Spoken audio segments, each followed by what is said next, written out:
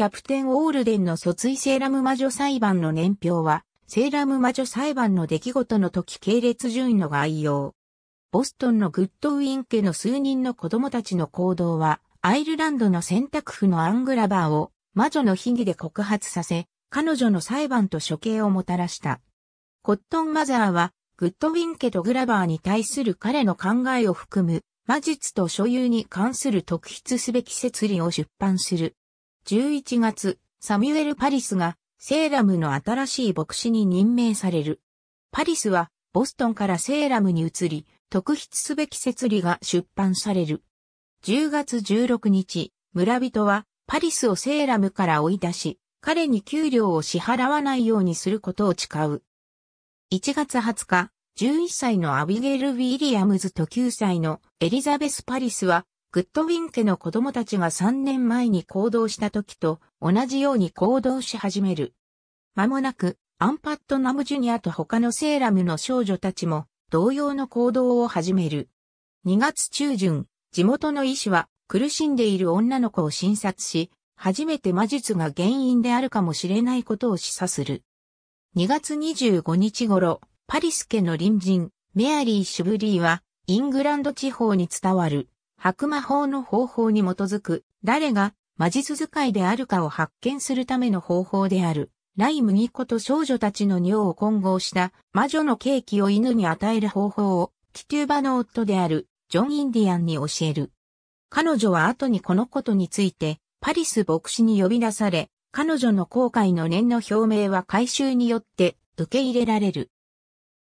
牧師や市民が誰が少女たちの奇妙な行動を引き起こしたのかと圧力をかけると、エリザベス・パリスは、ティテューバを指名する。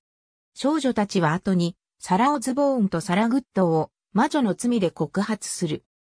2月29日、エリザベス・パリス、アビゲール・ウィリアムズ、アン・パットナム・ジュニア、エリザベス・ハワードを苦しませた罪で、サラ・グッド、サラ・オズボーン、ティテューバを逮捕する令状を、ジョセフ・ハッチンソン、トーマス・パットナム、エドワード・パットナム、トーマス・プレストンによる正式な訴状に基づいて、ジョン・ホーソーンとジョナサン・コーウィン裁判官が発行する。3月1日から3月7日、治安判事のジョン・ホーソーンとジョナサン・コーウィンは、数日間にわたって、グッド、オズボーン、ティテューバを尋問する。ティテューバは苦しめた罪を自白し、グッドとオズボーンも共謀者であると証言する。3月11日、アン・パットナム・ジュニアが魔術による苦痛の症状を示す。マーシー・ルイス、メアリー・ウォルコット、メアリー・ウォーレンも後に苦痛を申し立て始める。3月12日、アンパットナムジュニアはマーサ・コーリーを魔術使いで告発する。3月19日、アビゲール・ウィリアムズは、レベッカ・ナースが魔女だと告発する。3月21日、治安判事の放送音とコーウィンは、マーサ・コーリーを取り調べる。3月23日、セーラムの保安官補、サミュエル・ブラブルックは、4歳のドロシー・グッドを逮捕する。3月24日、コーウィンとホーソーンは、レベッカ・ナースとドロシー・グッドを取り調べる。3月26日、ジョン・ホーソーン、ジョナサン・コーウィン、ジョン・ヒギンソン牧師は、ドロシー・グッドを牢屋に入れるべきかどうかを審議する。3月28日、エリザベス・プロクターが魔女として告発される。4月3日、サラ・クロイスは、彼女の姉、レベッカ・ナースを守ったことで魔女として告発される。4月11日、サラ・クロイスとエリザベス・プロクターは、トマス・ダンフォース副総督と総督評議員の前で審査される。同じ日、エリザベスの夫、ジョン・プロクターは魔術使いとして告発を受けた最初の男になり、投獄される。4月初め、プロクター家の召使いであり、告訴者でもあるメアリー・ウォーレンは嘘を認め、他の少女たちが嘘をついていると告発する。4月13日、アン・パットナム・ジュニアはジャイルズ・コーリーを魔術使いとして告訴し、コーリーの家で死んだ男が彼女を悩ませていると主張する。4月19日、アビゲール・ホッブズ、ブリジット・ビショップ、ジャイルズ・コーリー、メアリー・ウォーレンが取り調べられる。デリバランス・ホッブズは魔術を使ったと自白する。メアリー・ウォーレンは自分が魔女だと告発される圧力のもと、4月上旬に述べた陳述を取り下げ、再び告発者となる。4月22日、彼女の姉レベッカ・ナースを擁護していたメアリー・イースティは、放送音とコーウの尋問を受ける。放送音とコーウは、ネヘミア・アボット・ジュニア、サラ・ワイルズ、ウィリアムとデリバランス・ホッブズ、エドワードとサラ・ビショップ、メアリー・ブラックとメアリー・イングリッシュ取り調べている。4月30日、いくつかの少女たちは、元セーラムの牧師ジョージ・バローズが魔術を使ったとして告発する。5月2日、ホーソーンとコーウィンは、サラ・モーリー、リディア・ダスティン、スザンナ・マーティンとドーカス・ホアーを取り調べる5月4日、ジョージ・バローズはメイン地方で逮捕され、3日後にセーラムに送還され、その後刑務所に送られる。5月9日、コーウィンと放送音は、ジョージ・バローズとサラ・チャーチルを取り調べる。バローズは、ボストン刑務所に移送される。5月10日、コーウィンと放送音は、ジョージ・ジェイコブスと孫娘、マーガレット・ジェイコブスを取り調べる。サラ・オズボーンが極死する。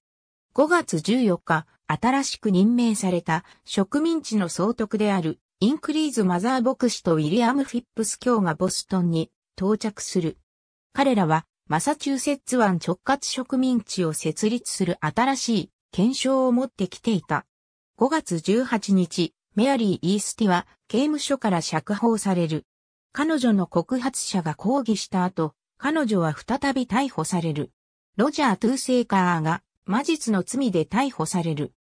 5月27日、ウィリアム・フィップス総督は、オイヤーターミナー裁判所の委員を務め、ナサニエル・サルトンストール、バルトルメウ・ゲドニー、ピーター・サージェント、サミュエル・セウェル、ウィリアム・ストートン副総督を任命する。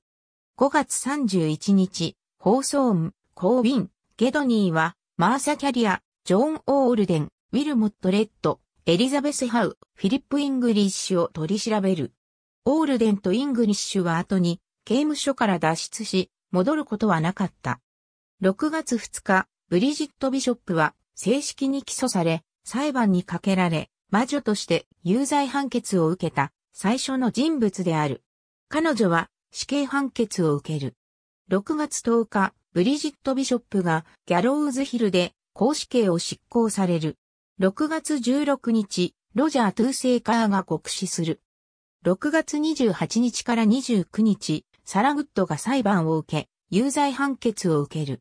6月29日、スザンナ・マーティンとレベッカ・ナースが裁判を受け、有罪判決を受ける6月30日、エリザベス・ハウが裁判を受け、有罪判決を受ける。7月2日、サラ・ワイルズが裁判を受け、有罪判決を受ける。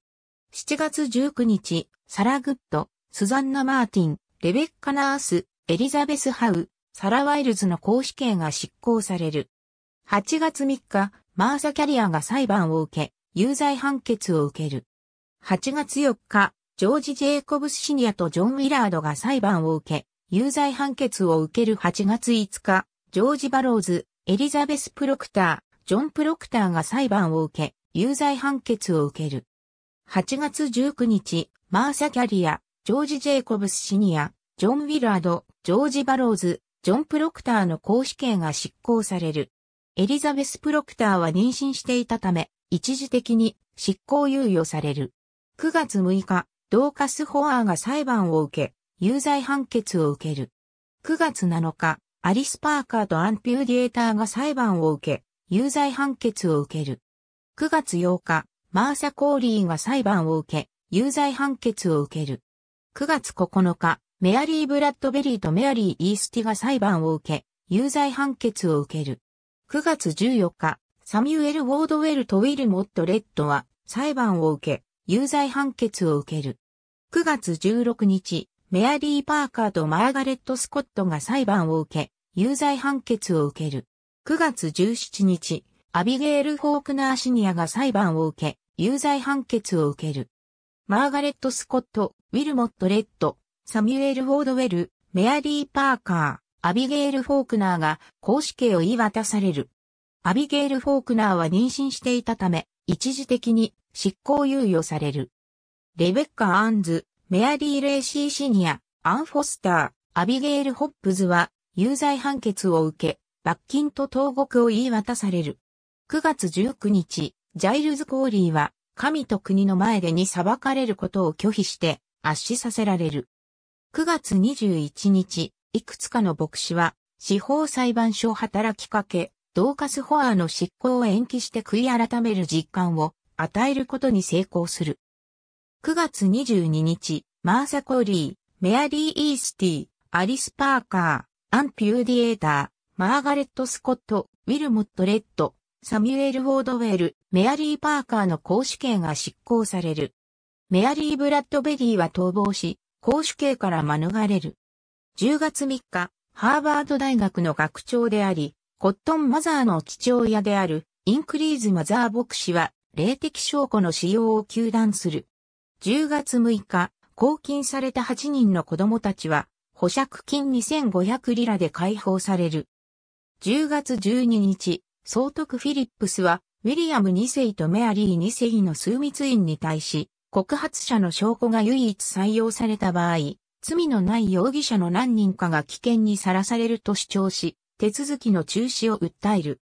10月29日、フィリップスは、さらなる逮捕を禁じ、被告人の多くを刑務所から解放し、オイヤーターミナー裁判所を参回する。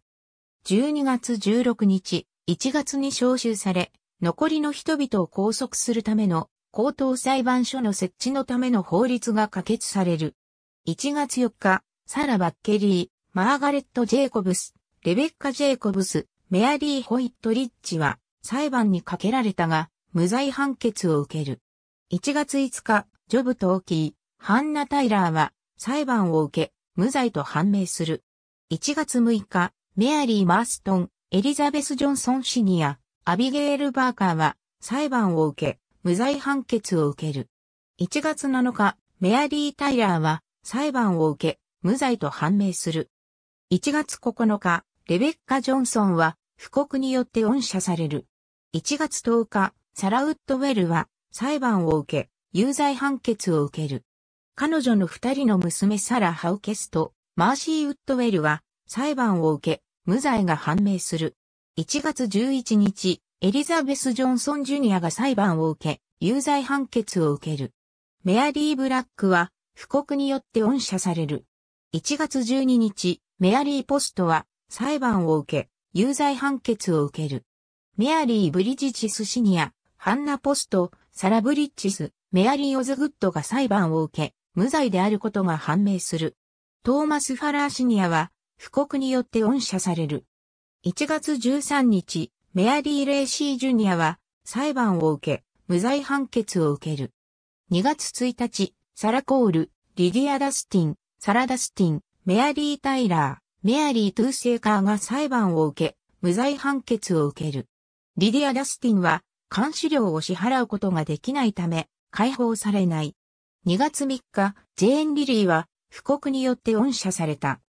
2月21日、フィリップス総督は死刑判決を受けた者の処刑を取り消し、53人がすでに無罪方面となったことを英国に対して書いた。3月10日、リディア・ダスティンが告死する。4月25日、ジョン・ウォールデンは不告によって恩赦された。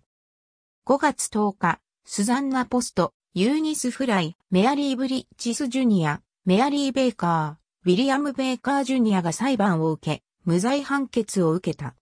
ドロシー・フォークナー、アビゲール・フォークナー・ジュニア、マーサ・タイラー、ヨハン・タイラー、サラ・ウィルソン・シニア、サラ・ウィルソン・ジュニア、サラ・コールは、布告によって恩赦された。大陪審は、ティテューバを起訴することに失敗した。5月11日、ウィリアム・ホップズは、不告によって恩赦された。アビゲール・フォークナー・シニアは、マサチューセッツ州高等裁判所に彼女の名前で試験剥奪されたのを逆転させるよう要請する。